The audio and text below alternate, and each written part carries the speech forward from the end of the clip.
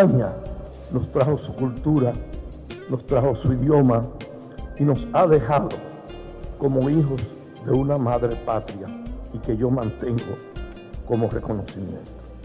El símbolo de la luz que no solo circunda para iluminarlo, este faro viene diseñado unos proyectiles de luz hacia el cielo que conforman la cruz del cristianismo, que lamentablemente por la tecnología hay que sustituirlos por una iluminación nueva que se llama LED.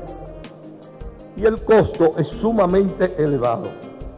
Me propongo como ministro de Cultura tratar de incidir en la voluntad del Banco Interamericano de Desarrollo para que en el préstamo que tenemos ya aprobado en proceso en el Congreso de la República se aporten los fondos necesarios para repetir la cruz iluminada en el cielo de la República.